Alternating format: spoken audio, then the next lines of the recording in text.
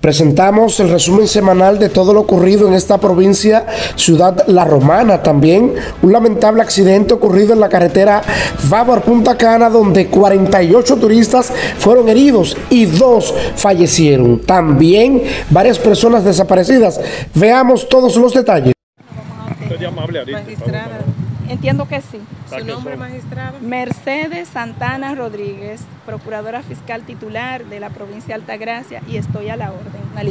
Entre ellos hemos observado que habían por lo menos unos siete o ocho argentinos, habían también de Chile, México, Colombia, y de otras procedencias y países.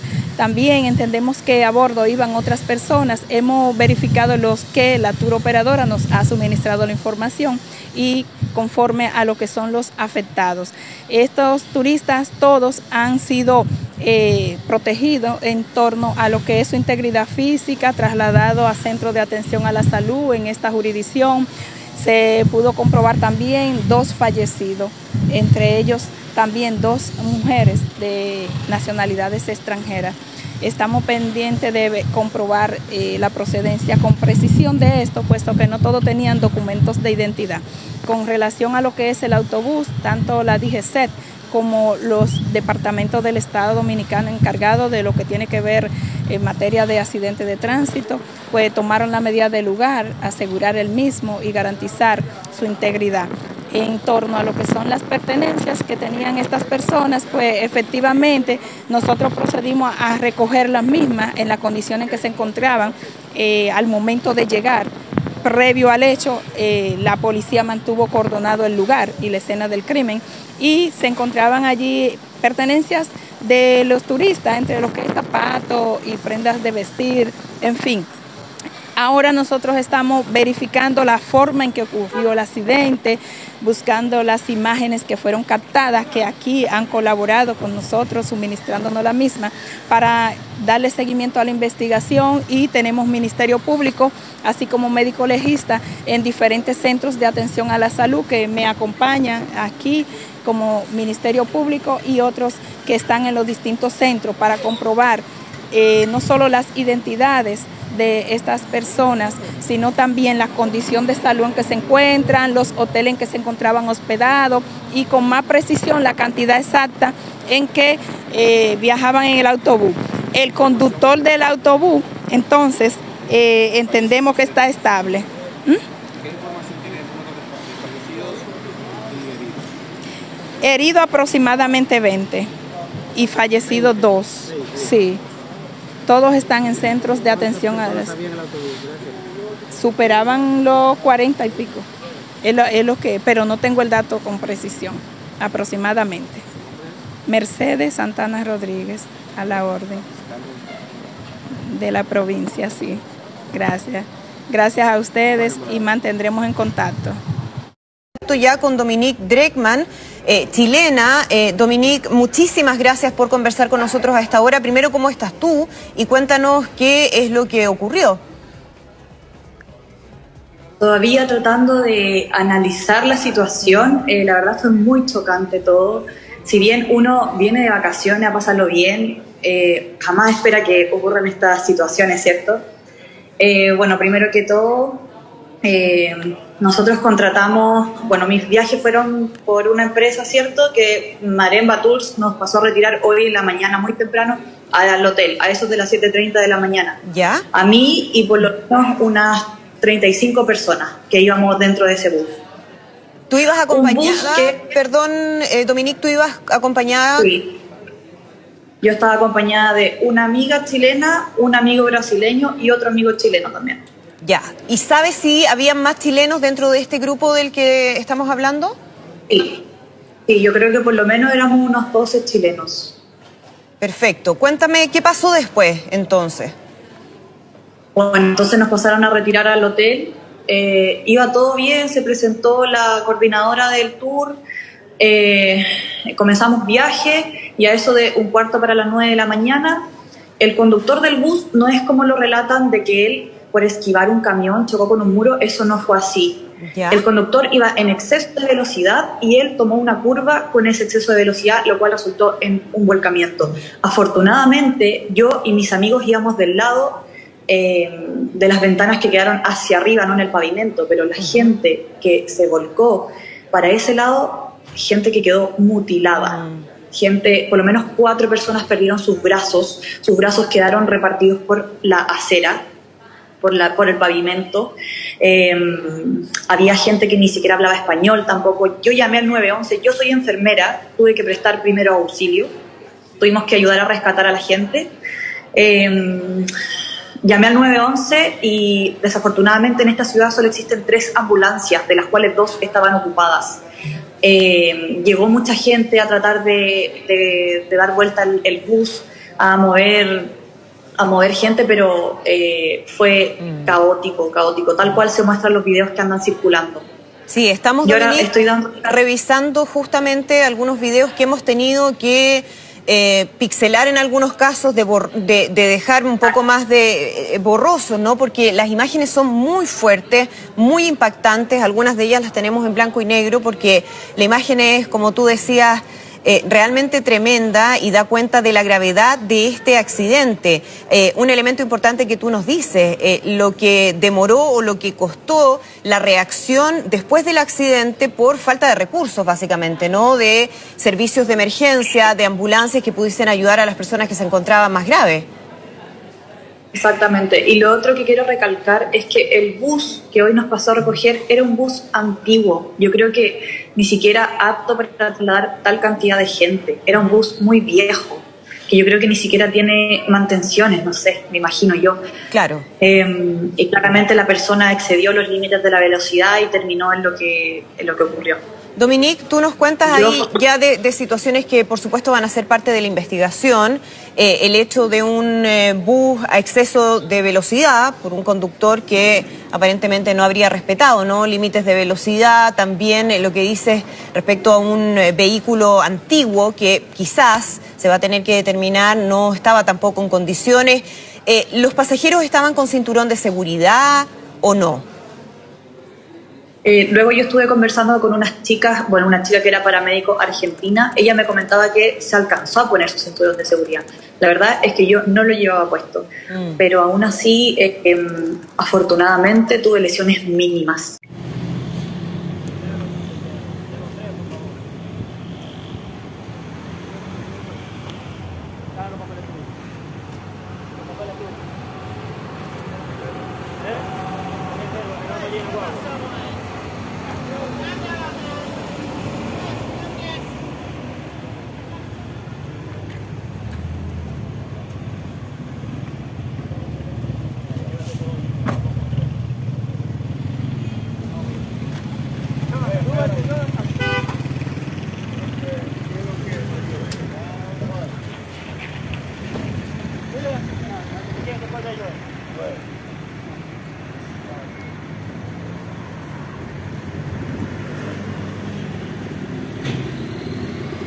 Poli, ¿cuántas personas han apresado en el día de hoy? ¿Cuántas personas han apresado en el día de hoy? Eh, aproximadamente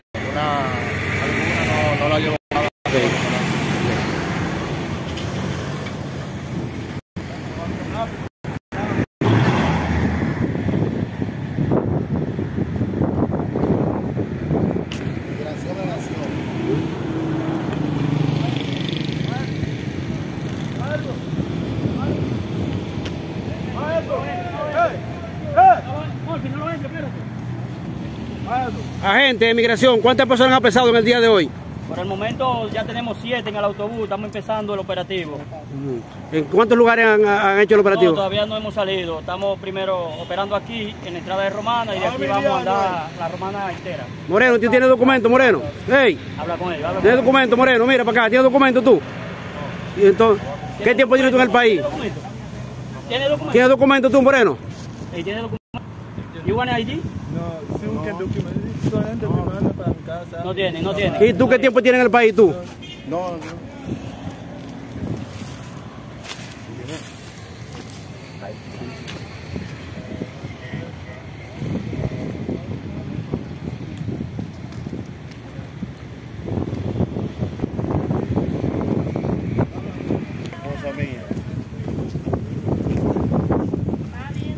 Bueno, quiero nadie aquí atrás, aquí adentro, afuera, porque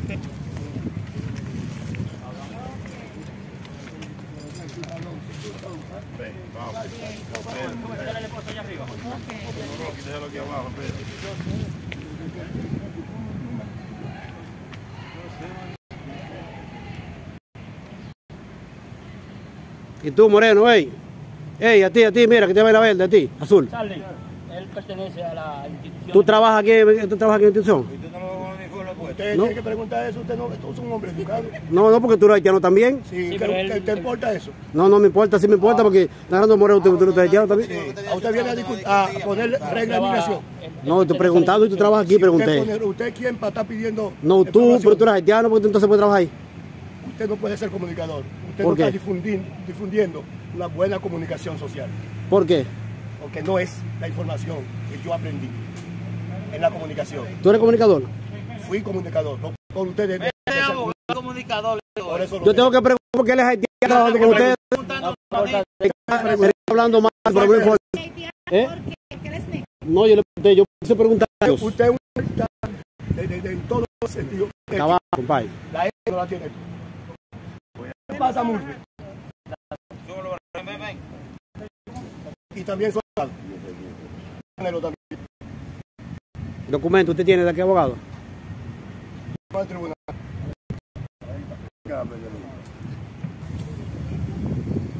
Yo le digo a usted, yo traicioné este país.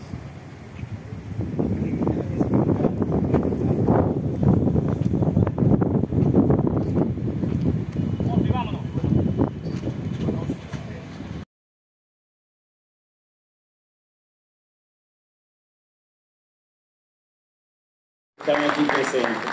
La verdad es que la coherencia, el cumplimiento de la palabra, el accionar se encuentran. Y es por eso que yo creo firmemente que las personas que estamos en la vida pública, que nos vendemos como una nueva generación, tenemos que ser coherentes en nuestras palabras, en nuestras acciones. Yo recuerdo mi primera visita aquí en una obra que había iniciado la pasada administración que me llamó el alcalde real de Caleta, Vinicio Castillo, para quien pido un aplauso y lo dejé de último. Lo dejé de último intencionalmente y me dijo, esa obra inició y tenemos que concluirla para que Caleta sea un destino turístico.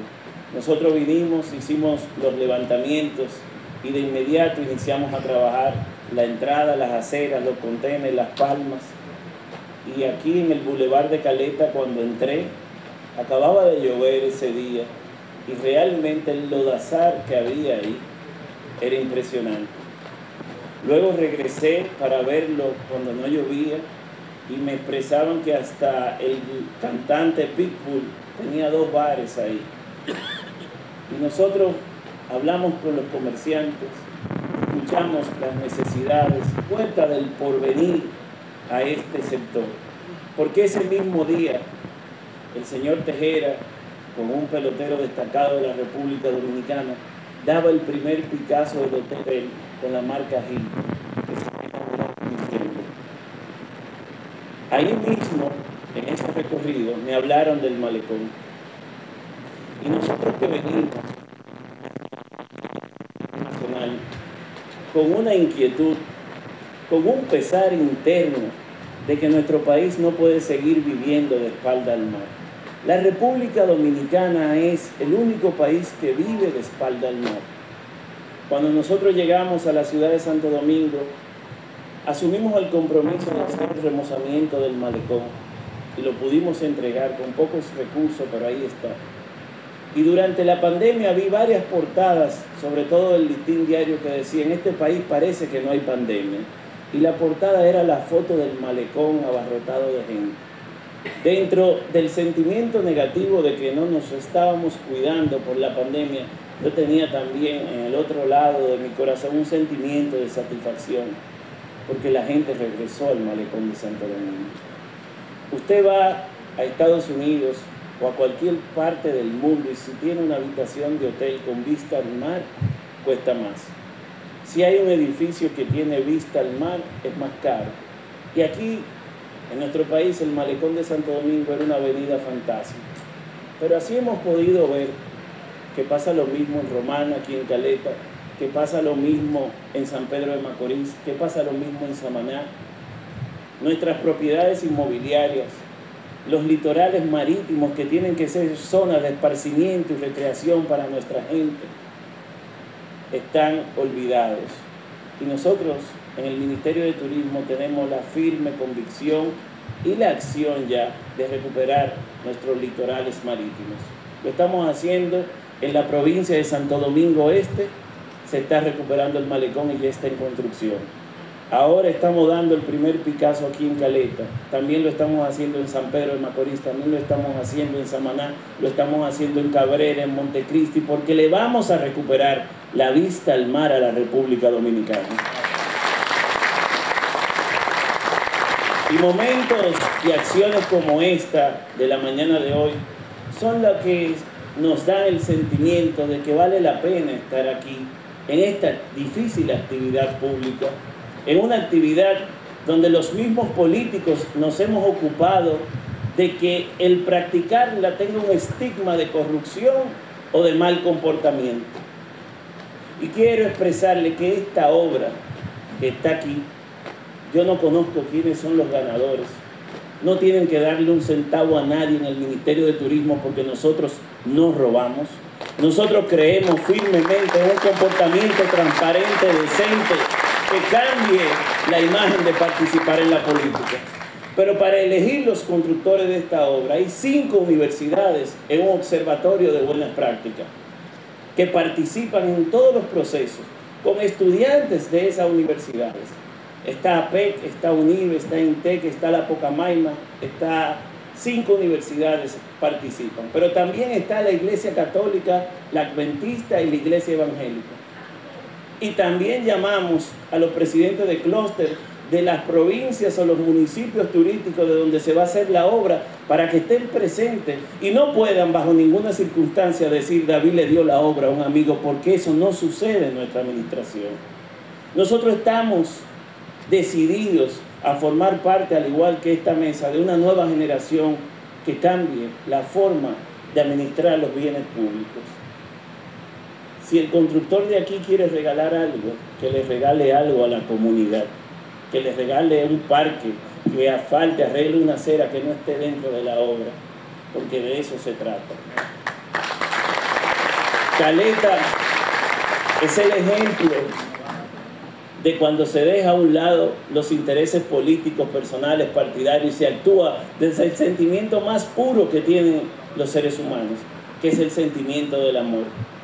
Porque hoy se ve fácil este primer Picasso, pero debo decir que aquí las construcciones estaban paradas, porque las normativas daban X cantidad de pisos y yo tuve que venir aquí en tres ocasiones con el Departamento de Planificación del Ministerio de Turismo, a hacer vistas públicas, a escuchar a los empresarios. Pero no solo escuchamos a los empresarios para que después no digan David del sector privado, no, también invité a las juntas de vecinos, a las iglesias, partidos contrarios y entre todos ya Caleta tiene un plan de ordenamiento territorial. Entonces, con el bulevar con el malecón, con el Hotel Hilton, con el desarrollo inmobiliario que está teniendo Caleta, nada ni nadie con la ayuda de Dios va a parar el desarrollo turístico que creará empleo, emprendimiento y bienestar en Caleta. Me siento extremadamente orgulloso de estar aquí hoy con ustedes. Que Dios bendiga a Caleta y que Dios bendiga el inicio de esta obra, porque lo estamos haciendo con todo el amor, la transparencia del mundo. Muchísimas gracias y los demás miembros de la mesa de honor también pueden acompañar al señor ministro al primer palacio. Y le quiero pedir encarecidamente a los presentes que para poder disfrutar todos los que están atrás, los que están delante, que nos mantengamos en nuestros asientos porque desde ahí podemos ver muy bien.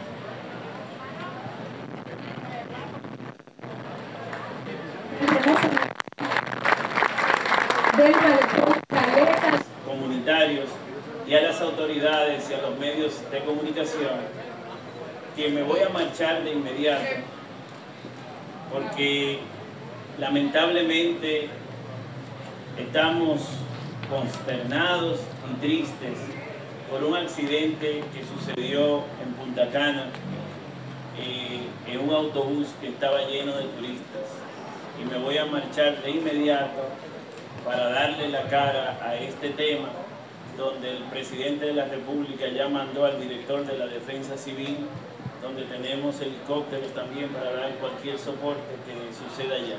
Así que muchísimas gracias a los medios de comunicación que destaquen esta obra de Caleta, que es un compromiso asumido entre todos aquí, no del Ministerio de Turismo, y es un municipio que se está desarrollando en coordinación para que tenga un desarrollo organizado. Muchísimas gracias y pido disculpas que me tengo que retirar de inmediato por lo que acabo de anunciar.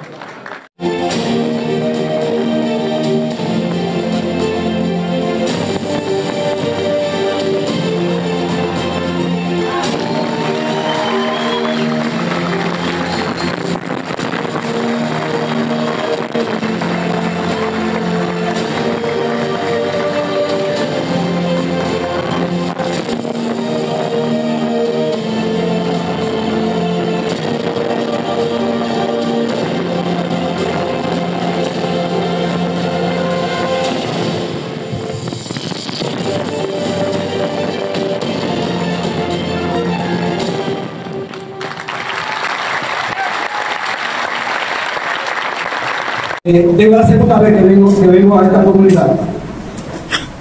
Y, es una comunidad muy hermosa, eh, un sector muy productivo y muy pujante. En lo que nosotros nos incumbe, estamos como viceministro asignados a lo que es la provincia de la Romana, el plan de seguridad ciudadana. Y qué bueno que estamos frente a ustedes. Ustedes porque son la columna vertebral de lo que es este plan. Que tiene que ver con seguridad. Que es hoy en día de lo que más aborrecemos en la comunidad. Yo sé que casi todos ustedes que están aquí, o algún familiar de ustedes, han pasado eh, por un momento de inseguridad.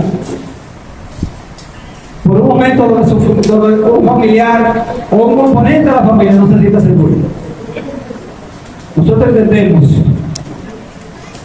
entendemos que, que después de la alimentación, la seguridad es uno de los componentes más importantes en que puede vivir tranquilo un ser humano. Y para eso estamos nosotros como interior de policía. Con la colaboración de la gobernadora y de, la presidenta de la Federación de Juntas de Vecinos y todos los que estamos aquí presentes, eh, estamos en pos de hacer un trabajo en beneficio de las comunidades.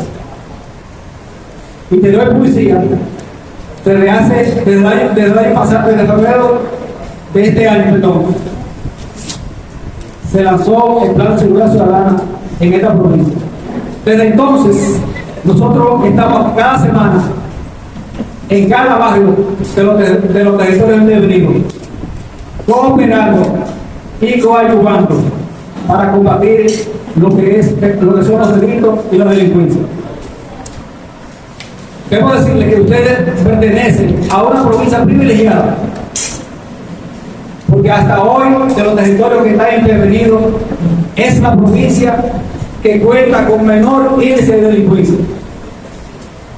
Como sabrán, Villa Hermosa era uno de los municipios con mayor índice de delincuencia a nivel nacional.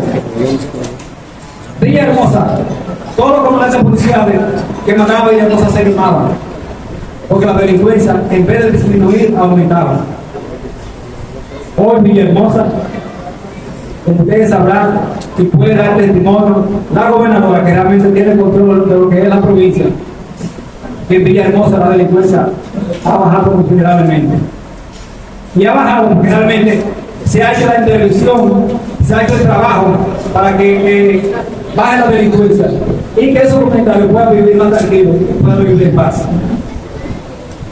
Pero también estamos aquí en Villa Pereira, que es uno de los territorios que está intervenido. Porque en esta intervención se hizo precisamente en los territorios donde había mayor índice de delincuencia, que es como yo le llamo las villas, incluye Villa Pereira, Villa Verde y Villa San Carlos, Villa Hermosa y el centro de la ciudad.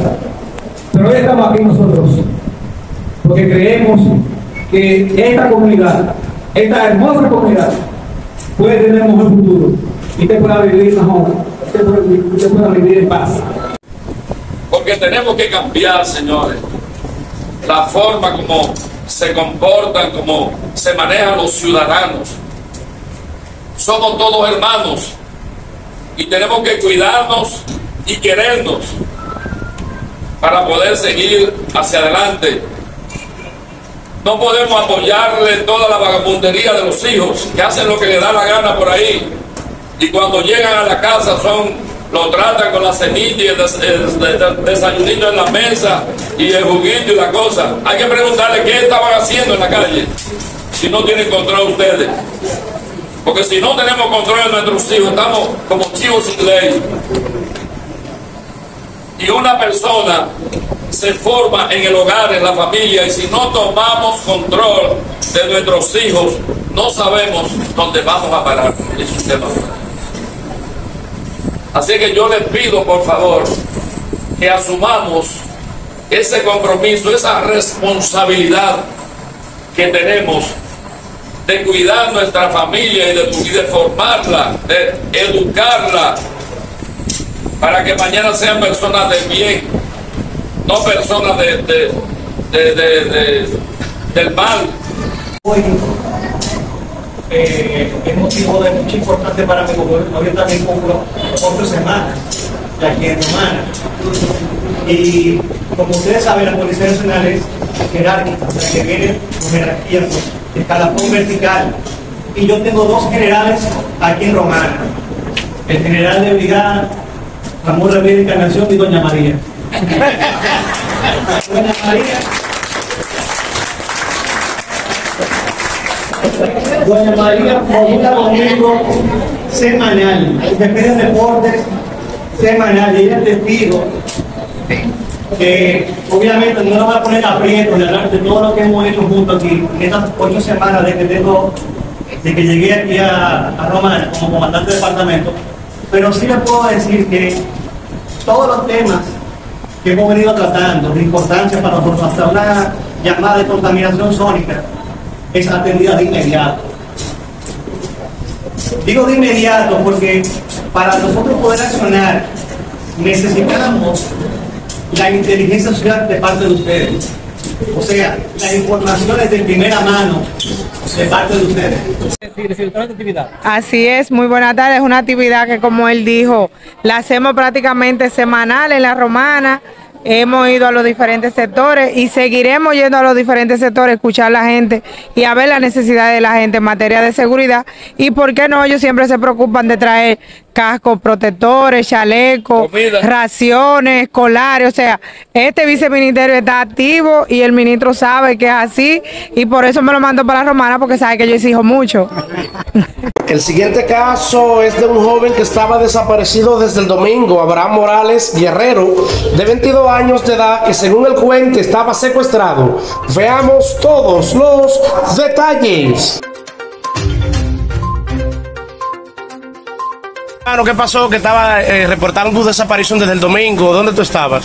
Estaba, eh, como, dicen, arrastrado. Me tenían una persona secuestrado. ¿En dónde? Eh, no te puedo decir más o menos en qué lugar, pero sé que era aquí en la romana porque no tuvieron tiempo de sacarme la romana. Pero ahora mismo estoy aquí. Me encontró el Néstor, el chino, el policía. ¿En dónde? Me encontró camino al cementerio nuevo que está ahí en Villahermosa. Sí. Ahí fue que me dejaron, como eso de la una y pico. Digo la una y pico porque había niños de la escuela afuera. Y ahora mismo estoy aquí ahora mismo en la ambulancia esperando noticias de mi familia. ¿Desde cuándo se, reportó tu desaparición? Desde el domingo en la noche. Dice que, que tú estabas en la discoteca el, domingo. Sí, estaba en la discoteca. y la última vez que te vieron fue a las 4 de la mañana, ¿es cierto? Exactamente, sí. Estaba en la casa de un amigo. ¿Y en qué te llevaron? no recuerdo. Me llevaron en una tacoma blanca. Eran tres personas, dos adelante y uno atrás. Eh, se le montó uno y me dijo a punta de pistola que me subiera. Me dio un golpe de que me subiera la ¿Y cómo te liberaron? Ellos me liberaron porque me estaban confundiendo con una persona. Y cuando vieron que yo no era esa persona, fue que me dejaron eh, donde te dije, por ahí por el cementerio. Bien, ¿qué sentiste en ese momento? Sentí mucho miedo porque pensé que me iban a quitar la vida por algo que yo no he hecho, sea por dinero, que yo no debo. ¿Fue un dinero ellos estaban exigiendo? Estaban exigiendo un dinero que una persona le debe. No voy a decir que esta persona, lo puedo decir más adelante, pero ahora mismo me dijeron que no dijera. Pero mantuvieron oculto. Bien, eh, ¿comiste, te alimentaban? Te... No, no me dieron nada. Agua, solo agua, agua. agua. ¿Y cómo llegaste acá al destacamento? Néstor Metajo. Bien, ¿eh, ¿ellos te liberaron? Sí. ¿Cuántos días duraste secuestrado, según tu denuncia? Desde, desde el martes en la noche, ellos no me volvieron a sacar ya hasta ahorita. ¿Hacia dónde te llevaron? ¿No sabes? No sé decir porque me encapucharon cada vez que iban a salir. Bien, ¿tu nombre cuál es, hermano? Santo Abraham Morales Guerrero. ¿Qué edad tienes? 22 años. Muy bien, muchas gracias. Bien, saludos, buenos días. Joven, ¿cuál es su nombre y su situación que usted eh, le habían reportado eh, perdida de hace unos días y ya está acá en su casa? Cuéntenos su nombre. Mi nombre es Génesis José Molán. Bien, eh, ¿dónde usted se encontraba? ¿Qué le pasó? ¿Que salió de casa y no le avisó a su familiar? En San Juan. Yo salí muy preocupada, eh, o sea, buscando ayuda. ¿Qué tipo de ayuda? Eh, de policía. ¿Sobre qué, qué le pasó? Eh, fui abusada. ¿A qué edad fue? A los 17 para los 18. ¿Y salió corriendo por esta situación? Sí. ¿Y a, y a dónde usted llegó? ¿Con quién se fue? Con una señora llamada Marieli de la Rosa Concepción. ¿Qué ella le dijo cuando se la llegó? Que, o sea, que me ibas a llevar para, para San Juan, o sea, donde están los policías, donde una fiscal. De ahí para el derecho de la mujer para Santo Domingo. ¿Y acá las autoridades que han hecho, esa persona, dónde está? No han hecho nada. ¿Y la persona quién es? Un familiar. ¿Cómo se llama el familiar? Abraham Remy Chávez. Eh, ¿dó- dó- ¿Él vive acá en La Romana? Sí. Eh, ¿Sus familiares qué han hecho concerniente a este tema? Pues preocupado y también queriendo ayudar.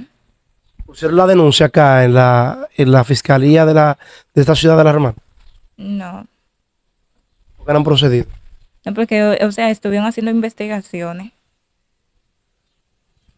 Esa persona, eh, ¿usted la ve, la ha visto, tiene tiempo que no sabe de él?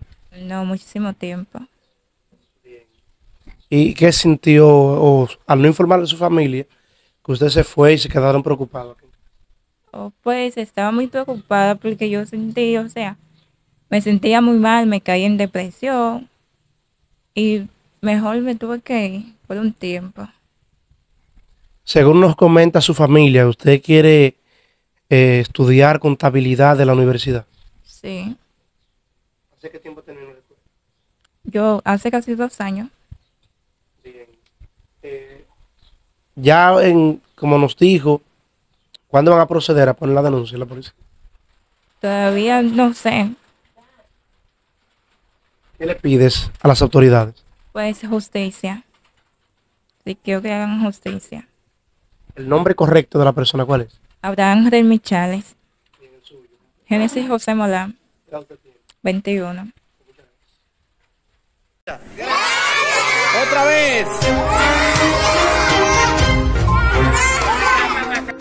El equipo que ve de informativo dice presente en entrega de útiles escolares porque somos un canal de bendición. Agradecemos a esos empresarios y colaboradores que siempre dicen presente cuando se trata de ayudar a las personas que más necesitan. Hicimos entrega en el municipio de Villahermosa de útiles escolares, mochilas totalmente equipada con todo.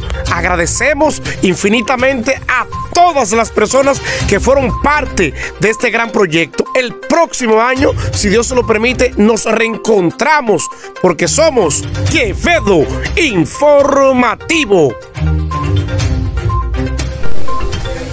Bien, señores, efectivamente en el día de hoy estamos haciendo la entrega de la primera etapa de los útiles escolares a niños de escasos sea, padres de una u otra forma se les dificulta un poquito eh, resolver siempre estas situaciones cada año. Gracias a las personas que nos colaboraron, que siempre que le hacemos un llamado, siempre están atentos. Miren, cada niño con su cuaderno, algunos con mochilas, pero definitivamente que estos operativos lo hacemos con el corazón grabamos para aquellas personas que siempre son incrédulos, para aquellas personas que siempre dicen por qué graban, pero no aportan. ¿Por qué dan? Aquellos que también están en las redes sociales criticando y ellos no aportan. Bien, pero agradecemos a cada persona que hizo realmente este aporte. Esto acá en el municipio de Villahermosa, sector Villa Progreso, un sector que se le dificulta a muchos padres eh, resolver estos tipos de problemas y nosotros hacemos este operativo con este fin. Es la primera etapa. Cada niño, como pueden ver, con su cuaderno. Agradecemos a señor Raimundo Quevedo por siempre eh, prestar su casa para estos tipos de operativos. Adelante. Muchas gracias. Eh, nada. Eh, darle gracias a todo el que aportó en un cuaderno, aunque sea un cuaderno, y que sigan aportando, por favor, que los niños aquí lo necesitan. Escucharon, el año que viene, si Dios lo permite, iniciamos nuevamente con este operativo. Ya para el año que viene vamos a iniciar temprano para poder tener más cosas a donde no puedan llegar. Así que hasta el año que viene, si Dios lo permite. Gracias Pedro por estar en la cámara. Muchas gracias por los, por los útiles escolares que me dieron. Gracias por los útiles escolares, gracias. Gracias por útiles escolares, gracias. Otra vez. Gracias. Gracias. Agradecemos a Dios la oportunidad por haber realizado esta hermosa actividad.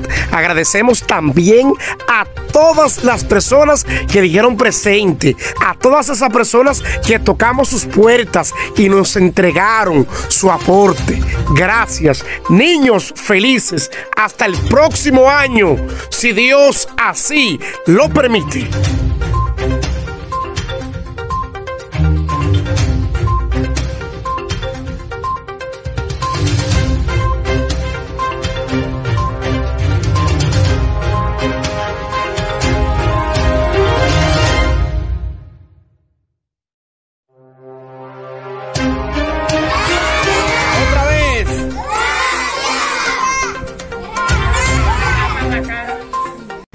Este fue el resumen semanal de Adonis Quevedo desde esta provincia Ciudad de la Romana. Retorno con ustedes al centro de noticias.